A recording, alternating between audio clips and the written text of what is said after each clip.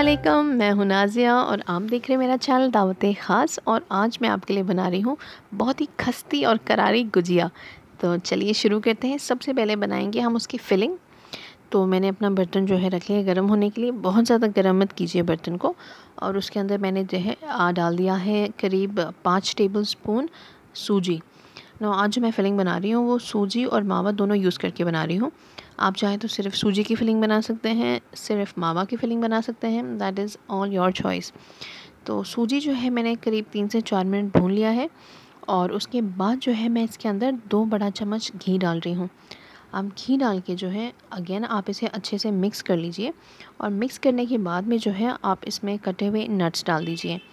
यहाँ पर जो है मैंने बादाम ले लिया है, पिस्ता लिया है और काजू ले लिया है, करीब से तीन छोटा चम्मच लिया है मैंने, सब जो है मैंने मोटा मोटा काट लिया है उसे। अब अगेन नट्स की जो चॉइस है वो आपकी है, आप इसमें और भी चीज़ें ऐड कर सकते हैं, इसमें खोपरा डाल सकते हैं, इसमें चारोली डाल सकते हैं। काफ़ी सारी चॉइसेस हैं दैट डिपेंड्स ऑन यू अब जो है, इसे हम अच्छे से भून लेंगे करीब दो मिनट के लिए। और उसके बाद जो है मैं इसमें डाल रही हूँ मावा। मावा जो है मैंने यहाँ पर डेढ़ सौ ग्राम लिया हुआ है। और ये जो है वो फीका मावा है, इसमें शक्कर नहीं है। तो अब जो है मैं इसे सूजी के साथ में अच्छे से मिक्स कर लूँगी। से अराउंड दो से तीन मिनट लगेंगे। इसे अच्छे से मिक्स कर लीजिए। अब जो है सूजी डालने के बाद में हमें कुछ ज़्यादा करना नहीं है। बस हम डालेंगे इसमें थोड़ा सा क्योड़ा और उसमें थोड़ा सा ज़ाफ़रान डाल देंगे। इससे जो है इसकी खुशबू बहुत अच्छी हो जाएगी। अब इसे अगेन मिक्स कर लीजिए। अब जो है, जैसे आप देख रहे हैं कि मावा भी अच्छे से गल गया है। अब जो है, हम इसे प्लेट में निकाल कर ठंडा कर लेंगे। अब जो कि ये पूरी तरीके से ठंडा हो चुका है, अब मैं इसमें ऐड कर रही हूँ शुगर। अब शुगर जो है, मैंने पाउडर शुगर लिया है, वो मैं पाँच बड़ा चम्मच डाल रही हूँ इसमें। आप चाहें तो कम या ज़्यादा कर सकते हैं, कम मत कीजिएगा, वरना जो है गुजिया बहुत फीकी हो जाएगी। एंड अगर आप थोड़ा ज़्यादा मीठा खाते हैं तो थोड़ा सा शुगर बढ़ा सकते हैं, कोई बात नहीं। अब जो है हम आटा की तैयारी कर लेते हैं। मैंने यहाँ दो कप मैदा लिया है और मैं ले रही हूँ करीब आठ बड़ा चम्मच यहाँ पर सूजी। ये कहिए आधे कप से थोड़ा सा ज़्यादा होगा सूजी। अब इसके अंदर जा रहा है आधा छोटा चम्मच बेकिंग पाउडर। थोड़ा सा ही लगता है, ज़्यादा बेकिंग पाउडर की ज़रूरत नहीं है। इसे आप मिक्स कर लीजिए और ये देखिए, ये मैं अब इसमें डाल रही हूँ बटर। अब जो बटर है, आप देखेंगे कि वो बहुत ज़्यादा सॉफ्ट नहीं है और बिल्कुल से रनी भी नहीं है। पर ये बिल्कुल फ्रिज से निकाल के इसे चार से पाँच मिनट हो गए थे इसे। उसके बाद मैंने इसमें दो बड़े चम्मच बटर डाल दिया है और उसके बाद जो है इसमें घी भी मैंने थोड़ी सी डाल दी है। अब जो है हमें करना ये है कि अच्छे से बटर को और घी को आटे के अंदर मसल लेना है। इसे आप एक काम ये कर सकते हैं कि दोनों हाथों की हेल्प से ये जो रब रब वाला काम है जो हम कर रहे हैं इस वक्त जैसे आप स्क्रीन पर देख सकते हैं, दोनों हाथों के बीच में हम मैदे को जो है रब कर रहे हैं। इससे जो होता है कि बटर जो है बहुत अच्छे से मैदे के अंदर मिल जाता है और ये स्टेप हम जितने अच्छे से करते हैं, उतनी ही खस्ती जो है गुजिया तैयार होगी एट द एंड अब हमें कैसे पता चलेगा कि हमारा आटा रेडी है? जब हम आटे को अपने हथेली में लेके दबाएँगे तो उसका एक शेम शेप जो है, एक अच्छा सा फॉर्म हो जाएगा। अब जो है नेक्स्ट स्टेप ये है कि मैं गुजिया को जो है, ठंडे मिल्क से गूंद रही हूँ। अब जो भी लिक्विड आप लीजिए, आप चाहे तो मिल्क और वाटर थोड़ा सा मिक्स करके ले सकते हैं। मैंने यहाँ सिर्फ़ दूध लिया हुआ है और दूध जो है वो ठंडा है। आपको सिर्फ़ ध्यान में ये रखना है कि आप जो है जो भी लिक्विड लें, वो ठंडा ही होना चाहिए। आप फ्रिज से फ़ौरन निकाल के इसे यूज़ कर लीजिए। जितना ठंडा रहेगा, उतना जो है हमारी गुजिया जो है, अच्छी वो क्रिस्प भी हो जाएगी। इसे हम अच्छे से गूँध लेते हैं। तो जब तक मैं इसे गूँधती हूँ, आप एक काम कीजिए, फटाफट से जाइए और मेरे चैनल को सब्सक्राइब कर दीजिए।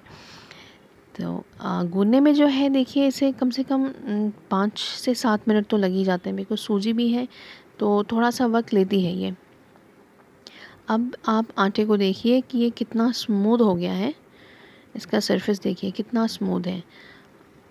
ना ये बहुत ज़्यादा कड़क है और ना ही बहुत ज़्यादा सॉफ्ट देखिए, इतने, इस कंसिस्टेंसी तक आपको जो है, वो आटे को लेकर आना है अच्छे से गूंद कर अब नेक्स्ट जो मैं कर रही हूँ, मैं जो है अपने आटे के चार पोर्शंस बनाने वाली हूँ और इसकी बड़ी बड़ी जो है मैं रोटी बनाऊँगी।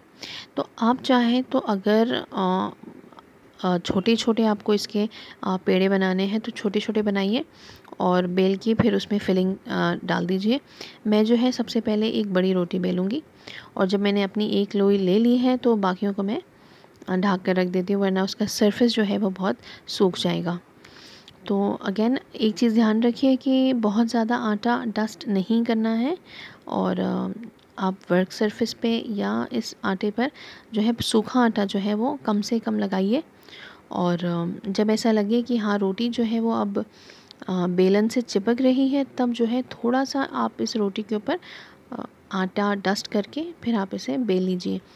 अगेन, बहुत ज़्यादा इसे मोटा नहीं रखना है। अब लगभग जो है आई थिंक रोटी भी मेरी तैयार है। अब मैं आपको दिखा देती हूँ। ये देखिए, बहुत ज़्यादा जो है ये मोटा नहीं है। पतला ही है काफ़ी। अब जो है मैं एक नॉर्मल सा ग्लास ले रही हूँ और इसको जो है मैं मैदे में डिप करके अब इसके छोटे छोटे जो है से राउंड्स काट लूँगी। ये, इससे क्या होता है कि हमारा जो मतलब फ़ाइनल जो गुजिया तैयार होगा, एक तो पहली चीज़ ये है कि सबकी साइज़ जो है वो काफ़ी यूनिफॉर्म होगी। और ये आप कह सकते हैं कि ये बाइट साइज़ की गुजिया तैयार होगी, दो बाइट में ख़त्म हो जाएगी।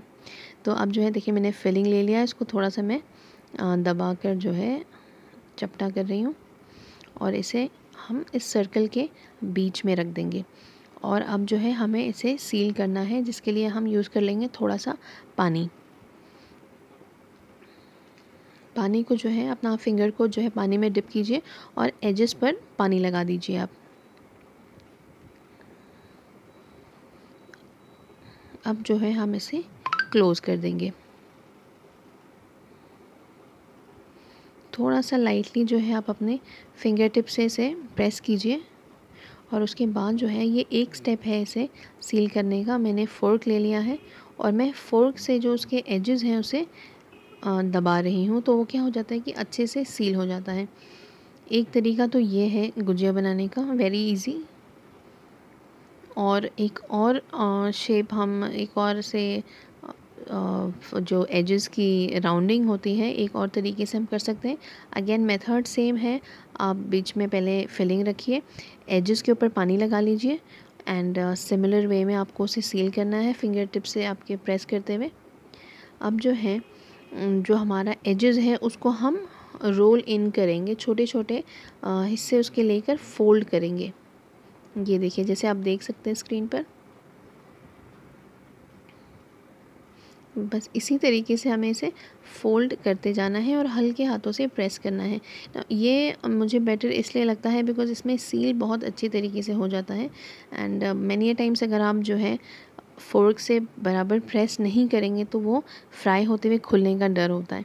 तो ये देखिए मैंने कुछ जो है फ़ोर्क से किए हैं और कुछ जो है वो फ़ोल्ड इन करके कर लिए हैं। तो ये करीब मेरे पास जो है फिफ्टी से ऊपर बने आई थिंक फिफ्टी फाइव जो है गुजिया तैयार हुई है बाइट साइज़ की और मेरा फिलिंग ख़त्म हो गया था तो थोड़े मेरे पास उसके जो सर्कल्स हैं वो बच भी गए थे। अब जैसे आप देख रहे हैं, तेल जो है मैंने गर्म होने रखा था, आटे का एक छोटा सा टुकड़ा डाला है तो वो फ़ौर बबल होने लगा है। इसका ये मतलब है कि तेल रेडी है और हमें इसमें गुजियाँ डाल देनी चाहिए। ना जितना कैपेसिटी है आपके पैन की उतना आप उसमें गुजिया डाल दीजिए और डालने के बाद में जो है थोड़ा सा फ्लेम को लो कर लीजिए। बहुत हाई फ्लेम पे हम इसे नहीं बनाएँगे। बहुत हाई फ्लेम होगा तो उतना जो है खस्ती गुजिया हमारी नहीं तैयार होगी। तो थोड़ा सा इसे मीडियम हाई पर रख के हमें फ्राई करना है। मैं जो है यहाँ तेल में तल रही हूँ। आपकी चॉइस है, आप इसे घी में भी तल सकते हैं। अब हम जो है एक गोल्डन कलर आने तक इसे फ्राई करेंगे। ये देखिए जो इस वक्त कलर हो गया है, ये बहुत ही, बहुत बेहतरीन कलर हो गया है इसका। देखिए, बनाने में कोई बहुत मुश्किल नहीं है। हाँ मैं ये ज़रूर कह सकती हूँ कि थोड़ा सा टाइम कंज्यूमिंग है, पर जो है वो खाने में ये बहुत ज़्यादा टेस्टी होती है। आप बनाकर इसे स्टोर कर लीजिए। काफ़ी लंबे समय तक रुक भी जाती है, ख़राब नहीं होती। तो आप भी जल्दी से जाइए और इसे ज़रूर बनाइए, खुद भी खाइए और अपनों को भी खिलाइए। तो एक आप, मैं आपको तोड़ के भी दिखा देती हूँ। तो अगर आपको मेरी ये रेसिपी पसंद आई हो तो do hit the like button and do subscribe for my channel and आप जो है बेल आइकन भी प्रेस कर दीजिए सो दैट आप मेरी कोई भी रेसिपी को मिस ना करें. फैमिली एंड फ्रेंड्स के साथ ज़रूर मेरा चैनल शेयर कीजिए. मिलते हैं इंशाल्लाह अगली बार एक और बेहतरीन सी रेसिपी के साथ. टिल देन अल्लाह हाफिज़.